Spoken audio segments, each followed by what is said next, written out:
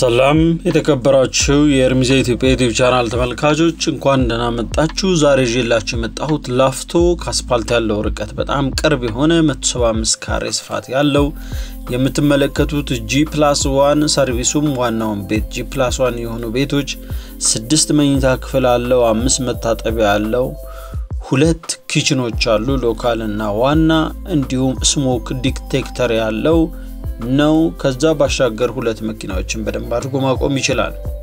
የምትመለከቱት ግቢ በማስተሩም ይሁን በኦፊሱ በኩል የራሱ የሆነ ባልከኒ ያለው ወይም ወጣ ብላችሁ ነፈስ የምትሉበት በረንዳ አለው። ከዛ ባሻገር ቤቱ አቅጣጫው የዞረው ወደ ምስራቅ ነው፣ ወደ ፀሐይ መውጫ ማለት ነው።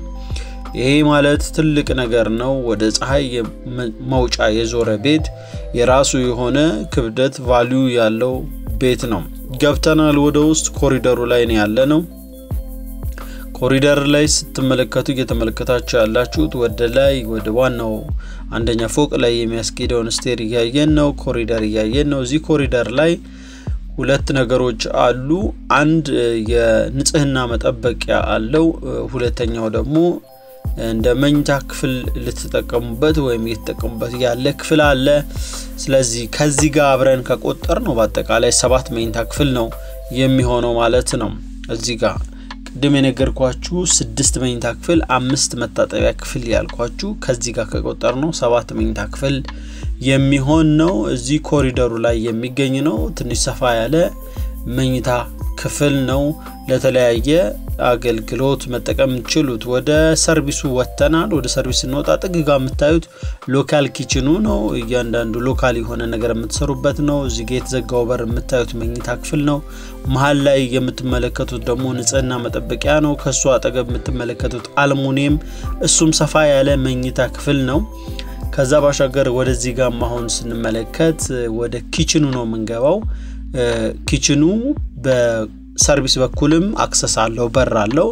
እንዲሁም ከዋናው ሳሎን ጋርም access አለው፣ እንመለከተዋለን። እንዲሁም እንደነገርኳችሁ smoke detector አለው። ማለትም ጭስ የበዛ ለመቃጠል የሚያስብ ነገር ካለ ራሱን በራሱ ውሃ ለቆ እንዲጠፋ በማድረግ አደጋ ቤት ውስጥ እንዳይከሰት የማድረግ አቅም አለው ማለት ነው። ይህ የምትመለከቱት dining ላይ ነው፣ ምግብ መመገቢያ። ከዛ በኋላ እዛ በኩል ሶፋ ያለበት ደግሞ living ነው። ሰፋ ያለ space አለው። መሬቱ የምትመለከቱት bamboo parquet ነው። እየተመለከትን ያለነው ላፍቶ የሚገኘውን በ175 ካሬ ስፋት ላይ የተሰራ G plus one service ኡም ዋናውን ቤት G plus one የሆኑ ነው። ተገጣጥሞ የተሰራ ነው። ለዛ ነው የምትፈልጉትን facility በብዙ ነገሮችን በአንድ ላይ ሊይዝ የቻለው። ይህ የምትመለከቱት የጂፕሰም ፍሬሙ ዳይኒንጉን ከሊቪንጉ የለየበት፣ open kitchen ኡ ደግሞ ምንም በር ሳይኖረው ግን ሰፋ ባለ በር እንድታዩት የሚያግዝ ነው። ወደ ኮሪደሩ ወጥተናል። corridor ኡ የ handrail ኡ እንጨት ነው። ቆንጆ ውበት ያለው እንጨት ነው። ceiling ኡ የምትመለከቱትን ነው የሚመስለው። እንደምትመለከቱት ቆንጆ የሆነ የ color ም combination አለው። ጂፕሰምውም እጅግ ውበት አለው። ባህል ሳይጮህ ውበት ባለው ሁኔታ ሰርተውታል። ወደ ዋናው ወደ master መኝታ ክፍሉ እንገባለን። ኮሪደር ላይ ነው ያለነው። ይሄ ኮሪደር በዛ ክፍቱ በር ስትሄዱ የ service ኡ G plus one ስለሆነ እዛው የምንመለከተው ይሆናል። አሁን ወደ ዋናው መኝታ ክፍል ገብተናል። ዋናው መኝታ ክፍል እጅግ ሰፋ ለቅቅ ያለ ስፋት ያለው ነው። እዚሁ ዋናው መኝታ ክፍል ውስጥ የራሱ የሆነ ቁምሳጥን የተገጠመለት ነው። እሱንም እንመለከተዋለን ልክ እንደምትመለከቱት ማለት ነው። ከዛ ባሻገር ወደ ውስጥ ስንገባ እንደ walking closet ግን እጅ መታጠቢያ space አለው። ከዛ በኋላ ነው ንጽህና መጠበቂያ ውስጥ ደግሞ ወደ ውስጥ መግባ የምትገቡትና ሰፋ ያለ ለ master ኡ ጥሩ የሆነ space ሰጥተውታል። ወለሉ ሴራሚክ ነው። የመኝታ ክፍሉ የምትመለከቱት ሴራሚክ ነው። እንደነገርኳችሁ ልክ እዚህ ስትገቡ walking closet ይሄ ቦታ መታጠቢያ space ያለው ነው። ከላይ ተለቅ ያለ መስታወት አለው። ከዛ በኋላ ነው ወደ ንጽህና መጠበቂያው የምትገቡት። እዚህ ንጽህና መጠበቂያ ውስጥ open የሆነ ጃኩዚ አለ። ለሁለት ሰው ዘና አድርጎ ማስጠቀም የሚችል እንደምትመለከቱት ነው የሚመስለው። ዋጋውንም እያካፈልኳችሁ ብሄድ እጅግ በጣም ጥሩ ነው። የምትመለከቱት ነው የሚመስለው ጃኩዚው ለሁለት ሰው ሰፊ open። ከዛ ባሻገር ደግሞ የምትመለከቱት shower guard ያለው መታጠቢያ አለው እዚህ ጋር።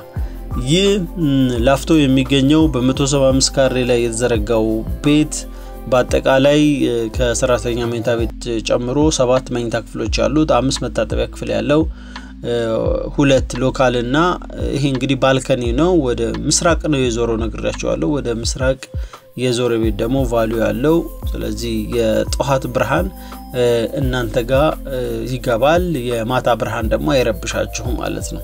ስለዚህ አንድ ቆንጆና ትልቁ ነገር ይሄው አንዱ እሱ ነው።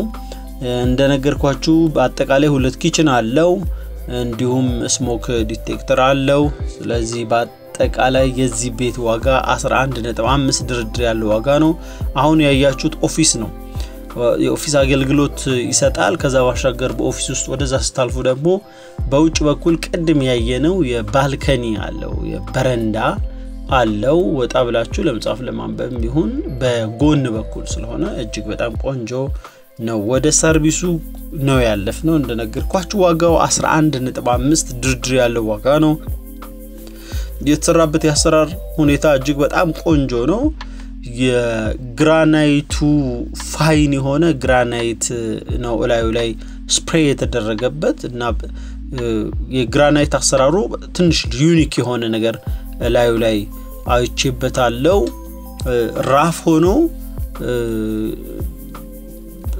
በቀላሉ የማይጎዳ አይነት የግራናይት የአሰራር ስርዓት ነው ላዩ ላይ ያየሁት። ለየት ያለ የአሰራር ስርዓት ነው። ብዙዎቹ ላይ አልተለመደም። smooth ሆኖ spray የተደረገው የግራናይት በላዩ ላይ የሚረጨው ግራናይት በደንብ smooth ያለ ነው። ይሄ ግን ለየት ያለ ነው። ምናልባት በ detail በእንደዚህ አይነት እውቀት ውስጥ ያላችሁ ሰዎች ልታሳውቁን ትችላላችሁ። ይሄ ሰርቪሱ ላይ ላይ ያለው እዚህ መኝታ ክፍል አንድ መኝታ ክፍል ከመታጠቢያው ጭምር ነው ያለው። ሌሎቹ ሁለት መኝታ ክፍሎች አሉ፣ ኮመን ናቸው። በዚሁ እኔ ልሰናበታችሁ ወዳለው። አንዴ ግን ልደግምላችሁም እፈልጋለሁ። ላፍቶ ነው የሚገኘው፣ 175 ካሬ ነው። የሚሸጥበት ዋጋ 11.5 ሚሊዮን ብር ድርድር ያለው ዋጋ ነው። ለራሳችሁ ማድረግ የወደዳችሁ ሰዎች የራሳችሁ ልታደረጉት ጋብዘናችኋል። ስለነበረን ጊዜ እጅግ የከበረ ምስጋና አለን። በሌላ ጊዜ እስክመጣ ድረስ አብራችሁ እንድትሆኑ ከወደዳችሁ አዳዲስ ከሆናችሁ subscribe አድርጋችሁ አብራችሁ እንድትሆኑ ጋበዝናችሁ። ሰላማችሁ ይብዛ። ሰላም ሁኑ።